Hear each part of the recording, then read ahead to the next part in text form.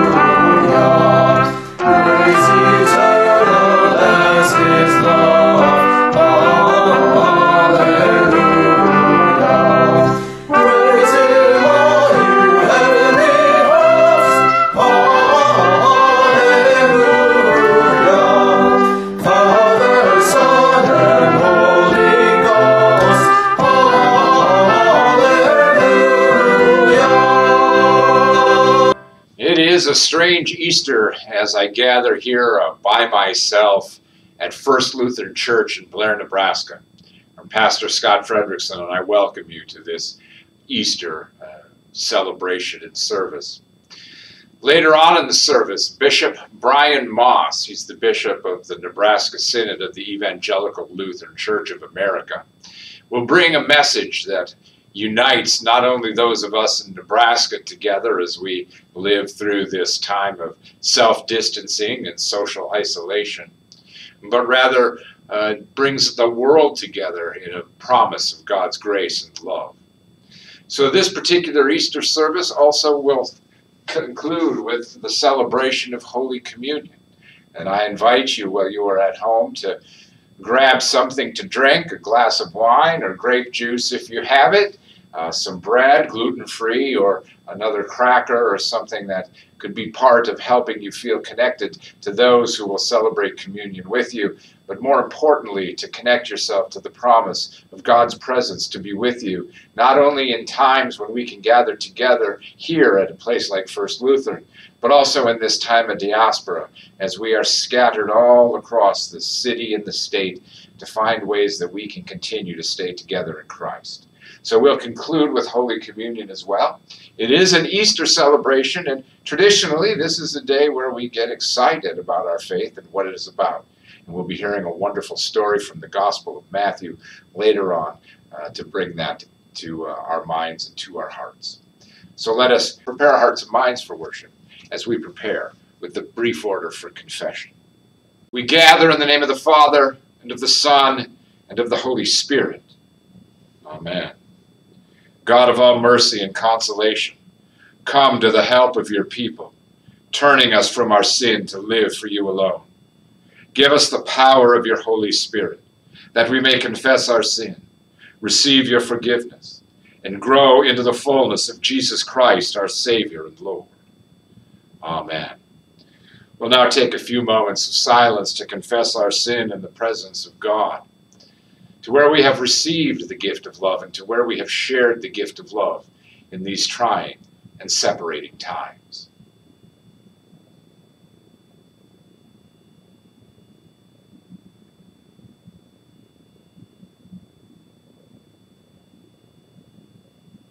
Most merciful God, we confess that we are captive to sin and cannot free ourselves.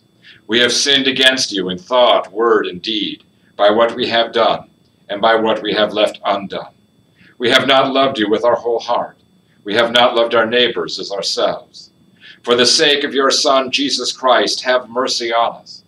Forgive us, renew us, and lead us, so that we may delight in your will and walk in your ways, to the glory of your holy name.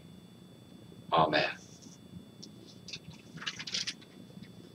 In the mercy of Almighty God, Jesus Christ was given to die for us, and for his sake, God forgives us all our sin. As a called and ordained minister of the Church of Christ, and by Christ's authority, I therefore proclaim to you and declare to you the entire forgiveness of your sin. In the name of the Father, and of the Son, and of the Holy Spirit. Amen. In peace let us pray to the Lord. For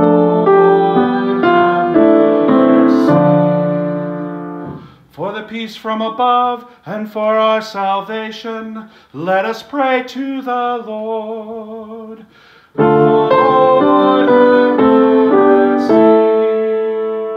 For the peace of the whole world, for the well-being of the Church of God, and for the unity of all, let us pray to the Lord. Lord,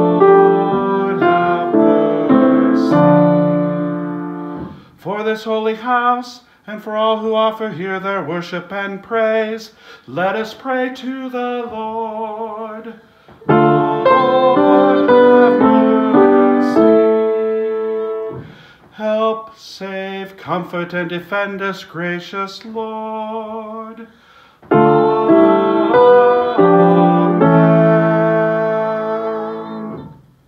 Glory to God in the highest, and peace to God's people on earth.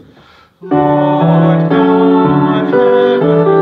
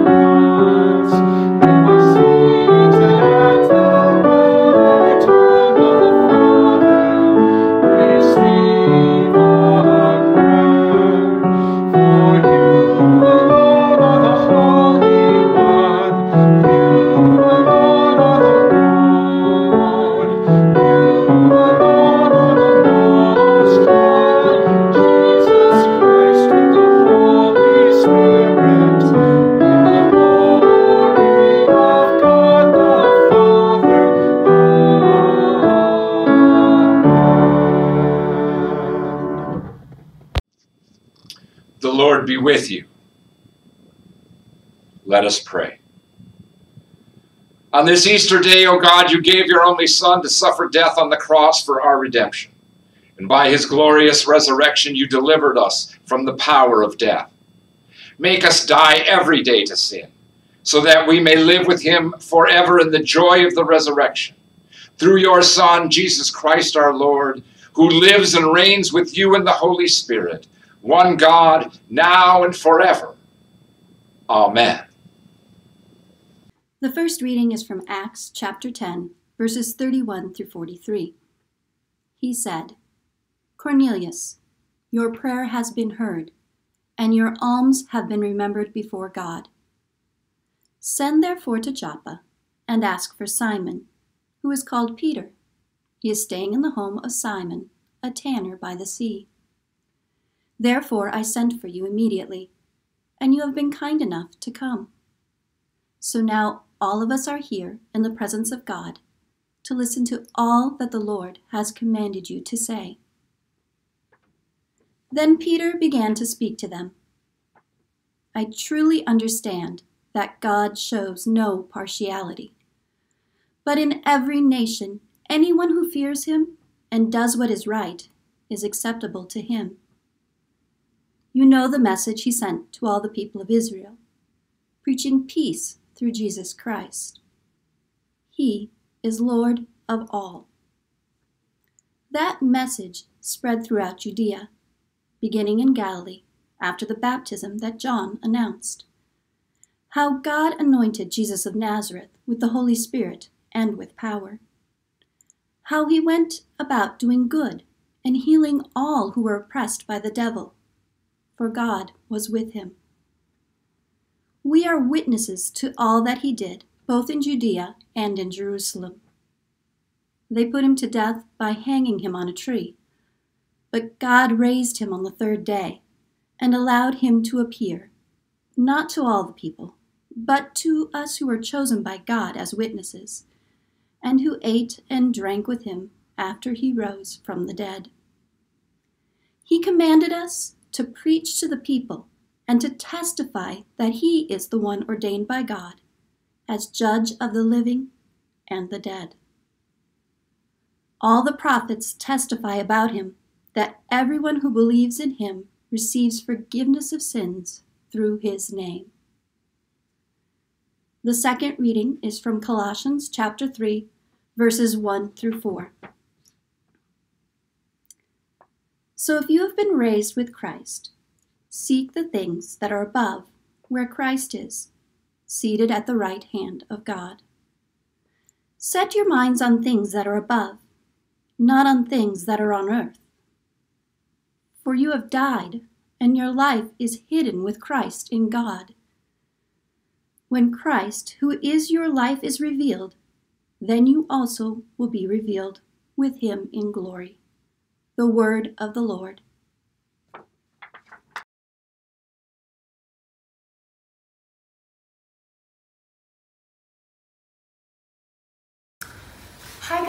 Happy Easter. Today we are celebrating, and do you know what we're celebrating?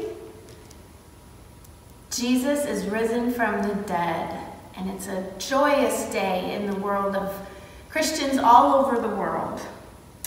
Okay, so we are going to go on an Easter egg hunt right now, and I'm going to hunt for eggs here and you can help me or you can hunt for eggs at your house if you'd like to do that. So here's the one rule. You can't open your egg until I tell you to, okay? None of us can open our eggs until Erica says it's time. So the very first one we're gonna look for is the purple egg. So everybody get up and look around and I found it. Okay, now we have a purple egg because Purple is the color of royalty.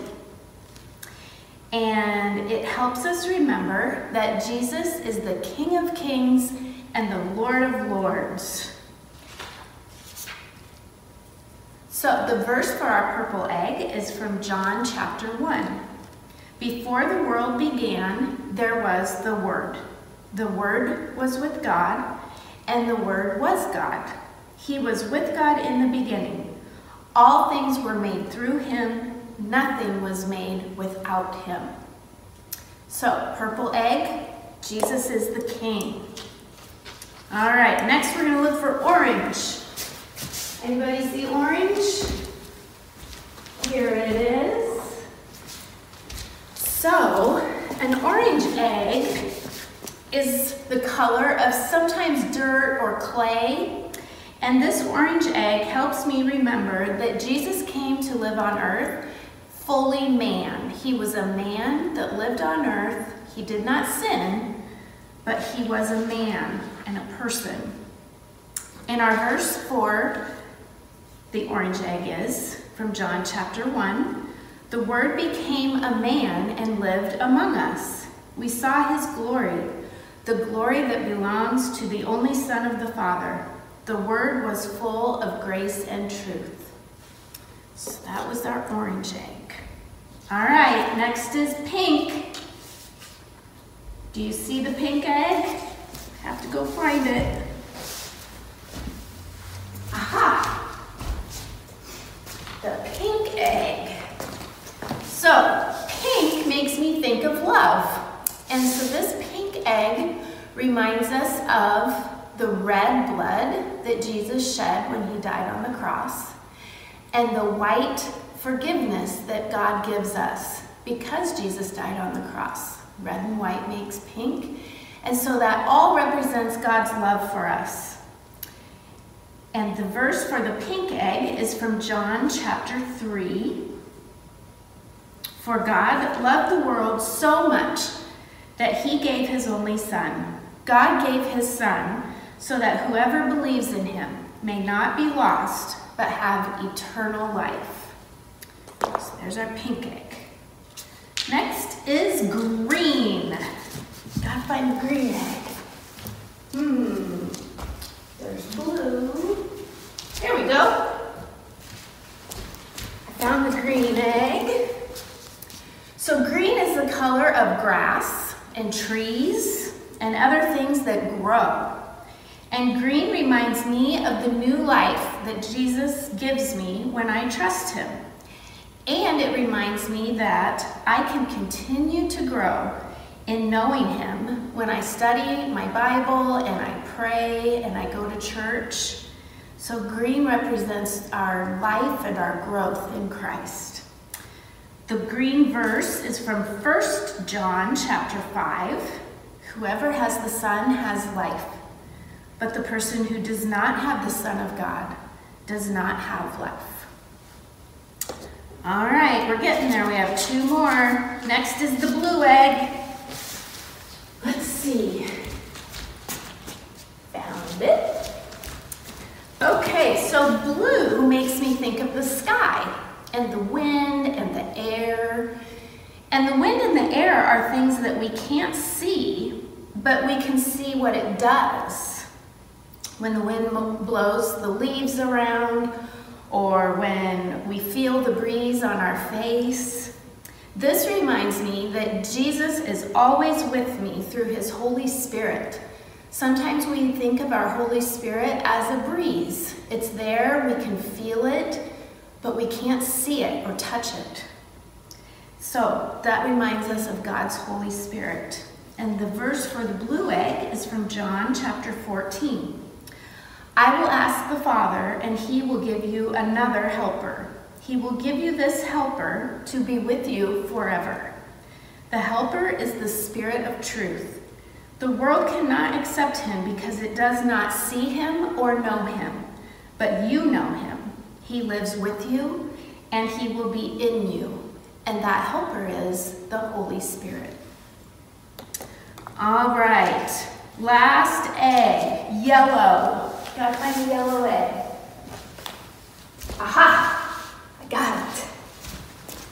Okay, finally the yellow egg. Yellow, I have on my shirt. Yellow is a happy color. It reminds me of the sunshine. And it reminds me of heaven being full of light and warmth because God is there. God promises that if we trust in Jesus as our Savior and our Lord, then heaven with him will be our home forever and ever. So the verse for the yellow egg is from John chapter 14. Jesus said, Don't let your hearts be troubled. Trust in God and trust in me. There are many rooms in my Father's house. I would not tell you this if it were not true. I am going there to prepare a place for you. After I go and prepare a place for you, I will come back then I will take you to be with me, so that you may be where I am. You know the way to the place where I am going. Thomas said to Jesus, Lord, we don't know where you are going, so how can we know the way? Jesus answered, I am the way, and I am the truth and the life. The only way to the Father is through me. So that's our yellow verse. Okay, so we have our six eggs here. And now we're going to say a prayer. So if you would bow your heads and fold your hands, and we'll talk to God just for a minute. Heavenly Father, thank you so much for this joyous day in our world. It's a little different this year. It's not as joyous as it usually is, as we are all at home trying to keep each other safe and healthy. We are missing being together. So please be with those who are sick, who are lonely, who are hungry, who are sad, and remind them that you and your spirit are always with us. And because Jesus came to earth and then died on the cross and was risen from the dead on Easter, we are able to be with you forever and ever. And we thank you for that. In your holy name we pray. Amen. Okay, so I want you to pick up an egg. Mine's the purple one. Now, how did I get this egg in my hand? I went and found it, right? I walked around, I picked it up. Somebody hid it here for me, but did I have to pay for it? No. Did I have to earn it? No, I didn't have to clean the bathroom in order to get it or do my homework. It was free, it was just there for me. That is exactly how God freely gives his love to us. His forgiveness and his mercy, we don't have to do anything. He gives it to us and it's ours forever and ever. So, the egg came to me for free, just like God's love. God's love is free. Okay, it's time to open your egg. Everybody open your egg. Aha! I got my favorite kind of candy. My daughter knows me well. I got a sweet Heath bar. And it's my favorite. And today on Easter, I want you to remember that Jesus is even sweeter than the candy.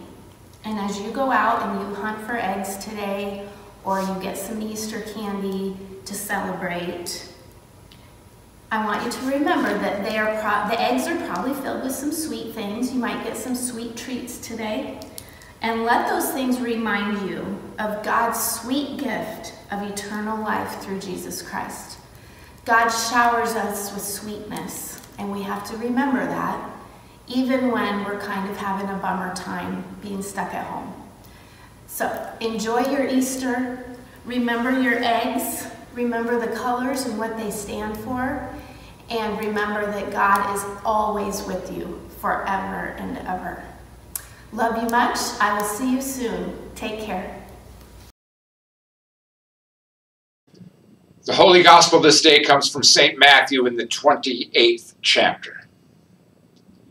After the Sabbath, as the first day of the week was dawning, Mary Magdalene and the other Mary went to see the tomb.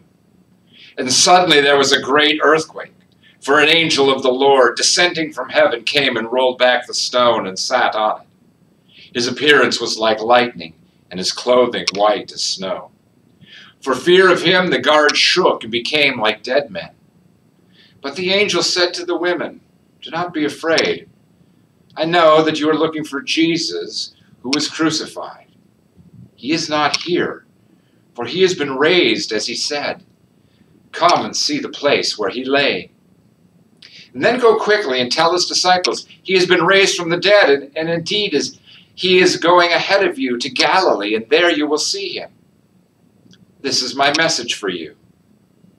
So they left the tomb quickly with fear and great joy and ran to tell his disciples.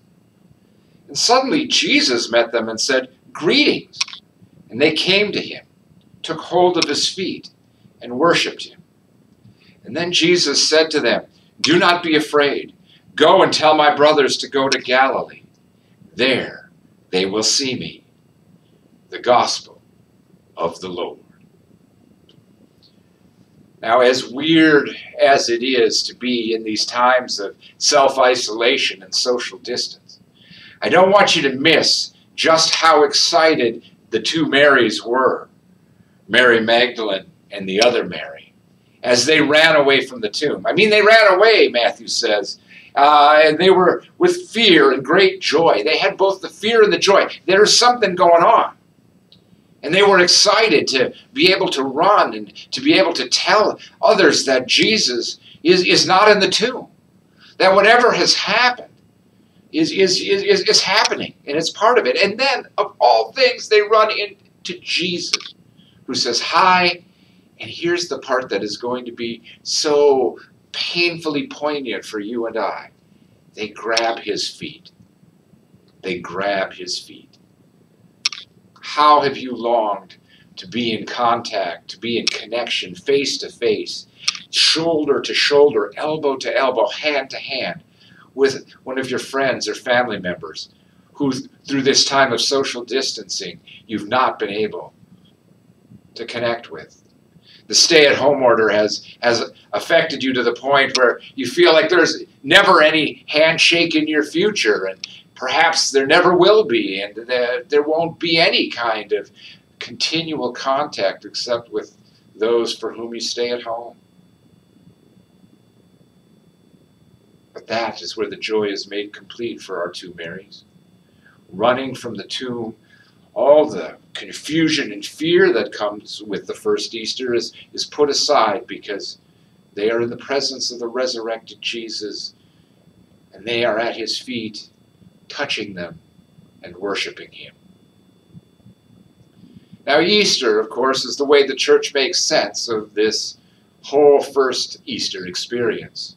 The death of Jesus on the cross was traumatic for everyone. And then for the ladies who come as the first day of the week is dawning, as Matthew says, and the two Marys come in his version and find the tomb empty. Well, what do you do with that? How do you how do you make sense of something like this? The answer is Easter. The answer is that you talk about God's undying love for us, how death itself cannot stop God from loving us, how God so cares for the world that God has created, God so cares for the world that God has made, that God continues to love it and redeem it. Not only in Jesus Christ who was alive, but Jesus Christ in his death. So that death itself is conquered by Jesus. Easter is how we make sense the despair of the first day of Jesus' resurrection. So, Easter is how we are going to make sense of the despair that is part of our lives right now. Easter is part of the way in which we begin to say, What is going on here? Because as we've now had a month, at least for us in Nebraska and other places it's been longer and some it's been shorter. But for us, at least in this month, what has been resurrected in your life? What did you think was dead that now was found because you actually had the time or you had the attention or you had the order to look at something else? And you found a, an old hobby connected with a longtime friend on social media. Perhaps you started something new. Or perhaps you spent a lot of time wondering, wondering what's the point, wondering if there's ever anything worthwhile going back to should any of these stay at home orders and social distancing suggestions uh, be lifted. What, what are you going to go back to? Are you going to go back to doing the same old, same old so that the next time COVID 20 comes along, or COVID 21, or COVID 22, or whatever they're going to call the next one? We have to go back and do it all again? I mean, this is finally what Easter is about. That as bad as our situation can be, and right now for many of us it's pretty bad, that somehow the love of God is not stopping. The love of God is not stopped by COVID 19. The love of God is not stopped by our fear to handshake with each other. The love of God is not stopped because we've decided to stay at home. The love of God is, is out there in the world. Think of all the people right now that are providing care, food, shelter to so many people who cannot get it for themselves. Love of God is working through the hands of every respiratory therapist, every CNA in a nursing home, whatever it happens to be, the love of God is working. And that is Easter. Easter is the promise that the church has made to ourselves and to each other that God continues to love and work even through the most unrelenting of tragedies, through the darkest of days, through the shadow of the valley of death itself. The love of God will prevail. And so today we celebrate the love of God prevailing. Perhaps on this Easter day, instead of thinking about the brunch you missed or the golf you haven't yet played or the flowers you were going to plant, to think instead of all those people who are showing God's power and love through this horrible, horrible time. People who are continually bringing words of hope and encouragement, hands of care, baskets of food and grace. And through it all, the promise of God to love us and the power of the Holy Spirit through the resurrection of Jesus Christ is what makes Easter. So I say to all of you, Happy Easter. And may uh, the time that we are apart be short. And may our time together be soon. And now we'll hear from Bishop Brian Maas of the Nebraska Synod of the Evangelical Lutheran Church in America.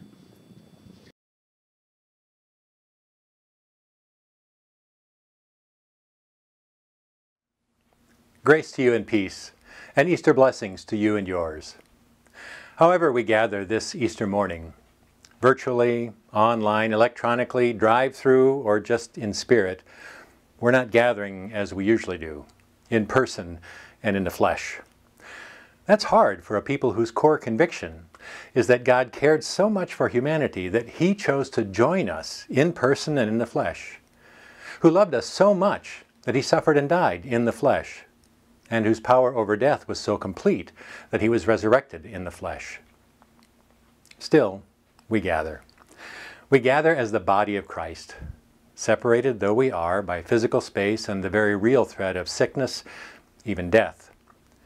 We gather apart because we need to hear, to know, and to proclaim that resurrection is real, and that nothing that separates us from one another, from normalcy, from security is stronger than the love which binds us inseparably to God and to one another. That the power of death that enforces our separation is no match for the power of life that will overcome it and see us gathered once again in the flesh. But until that time, honesty compels us to acknowledge that our experience of Easter is this year somehow flatter, somehow incomplete, somehow unsatisfying. To tell you the truth, it feels to me a little like waiting for that sneeze that you know is there but just won't happen. Easter Day arrives unstoppably. But that gratifying sneeze of a crowded, over the top celebration, exploding like a concentrated alleluia, just won't happen. It'll still come. I know it'll still come. The first Sunday we all gather together in our own pews, our own places, the first Sunday we can sing and shout together, I'm sure that the Alleluias will ring and Easter will happen again. And I pray again and again as we remember what it was like to be forcibly separated and celebrate being together again. In the meantime, I invite you to celebrate Easter. Celebrate all you can. It is real, it is unstoppable, and its power is undiminished whether we feel it or not. And I invite you to reflect in your celebration and your prayer and your conversation with other believers on how this year's celebration of Easter might draw us just a little more into that mysterious time of Holy Week known as Holy Saturday. This year we know, in some ways as we've never known, the reality of Palm Sunday's hosannas becoming Maundy Thursday's betrayal, turning into Good Friday's slow death. Just weeks ago, we seemed to be cruising into a storm-free spring with a robust economy. But it came crashing down in short order as our trust in governmental, medical, scientific, and economic systems betrayed us. We found out just how vulnerable we are. And our normalcy died a slow death. becoming this unstable waiting that longs for the simple gift of ordinariness to return, this unstable waiting that is our own Holy Saturday. I don't know how long this particular Holy Saturday waiting will last, and I am sure it won't end in a single burst of normalcy. When the end of our waiting comes, it will be slow and gradual. But remember this Remember that while the disciples waited, anxious and unknowing, while Mary Magdalene and the other women waited for the simple normalcy of preparing a body, something was happening in the tomb that nobody could anticipate and nobody could understand, and only God could do. That same God is up to the same thing in our Holy Saturday waiting. Our lives will return to normal, to a new normal. We will gather again gather in the flesh. Our Holy Saturday will end, and God will renew and bless whatever comes out on the other side. Not because we will have figured it all out, or because we have properly primed the economy, or because we have conquered the threat of death, but because God longs still to be with us in person and in the flesh, longs to see us gathered again as His body, to fill us anew with abundant life because of all this. And because Christ is risen. He is risen indeed. Alleluia.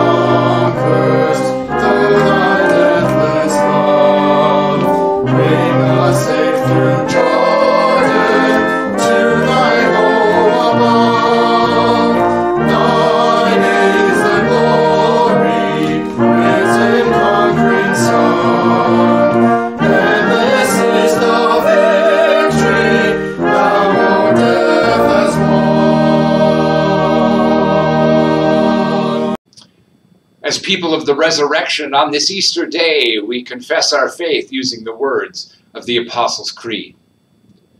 I believe in God, the Father Almighty, creator of heaven and earth. I believe in Jesus Christ, God's only Son, our Lord, who was conceived by the Holy Spirit, born of the Virgin Mary, suffered under Pontius Pilate, was crucified, died, and was buried. He descended to the dead. On the third day he rose again. He ascended into heaven. He is seated at the right hand of the Father, and he will come to judge the living and the dead. I believe in the Holy Spirit, the Holy Catholic Church, the communion of saints, the forgiveness of sins, the resurrection of the body, and the life everlasting. Amen.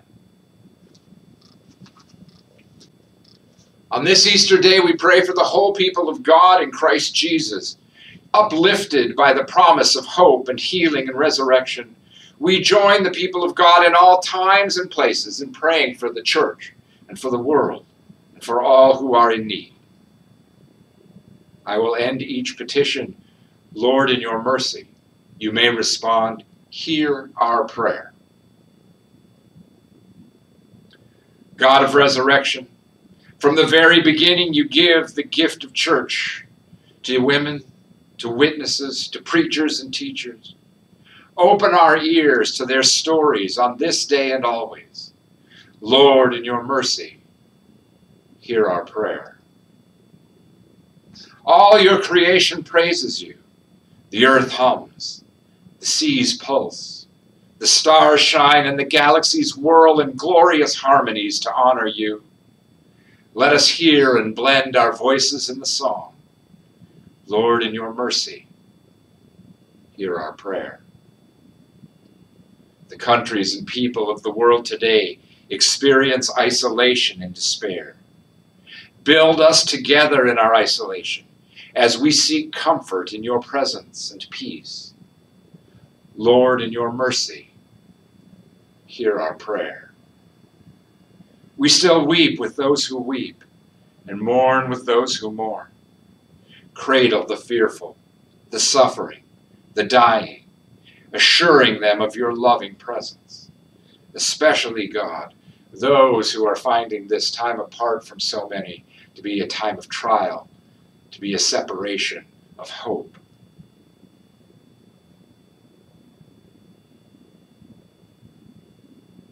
Lord, in your mercy, hear our prayer.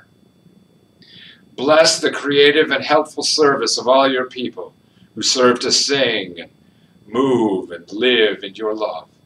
In this weird time of separation, be with those preachers and congregations that are continuing to provide welcome and hospitality to your message of grace and mercy.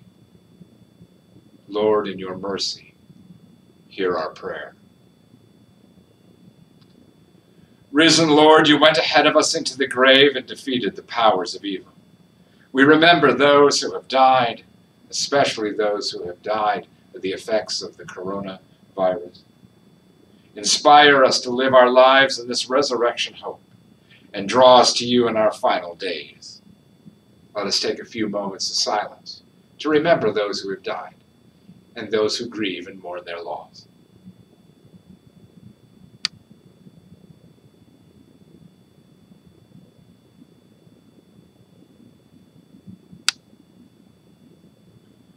Continue, God, to keep us together in your never failing love. Lord, in your mercy, hear our prayer. And with bold confidence in your love, Almighty God, we place all for whom we pray into your eternal care through Christ our Lord, resurrected from the dead. Amen. We prepare our hearts and minds for Holy Communion. Let us pray. Gracious God, in the promise of the resurrection, we live and move and have our being. And so, as we gather wherever we may be in this diaspora, we remember on the night in which he was betrayed, our Lord Jesus took bread and gave thanks, broke it and gave it to his disciples, saying, Take and eat. This is my body given for you. Do this to remember me. And then after supper, he took the cup, blessed it, gave thanks, and gave it for all to drink saying, This cup is the new covenant in my blood, shed for you and for all people for the forgiveness of sin. Do this to remember me. For as often as we eat from this bread and drink from this cup, we proclaim our Lord's death and resurrection until he comes again. And so let us pray together the prayer our Lord has taught us. Our Father, who art in heaven, hallowed be thy name. Thy kingdom come thy will be done, on earth as it is in heaven. Give us this day our daily bread, and forgive us our trespasses, as we forgive those who trespass against us. And lead us not into temptation, but deliver us from evil. For thine is the kingdom, and the power, and the glory, forever and ever. Amen. As you celebrate this meal wherever you may be, remember that this is the body of Christ given for you the blood of Christ shed for you.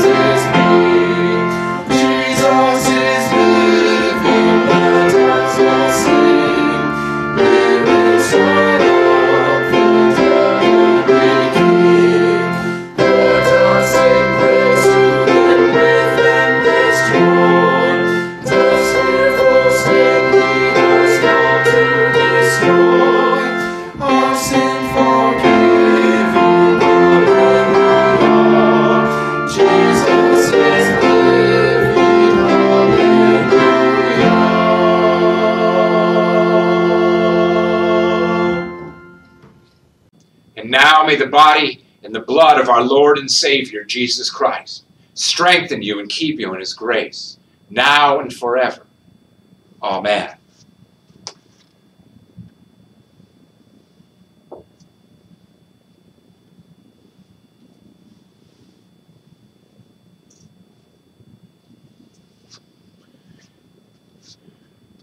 you may receive the benediction. And as we go out into this blessed Easter day, May the Lord bless us and keep us. May the Lord's face shine on us and be gracious to us. And may the Lord's countenance smile down upon us all and give us peace. In the name of the Father, and of the Son, and of the Holy Spirit.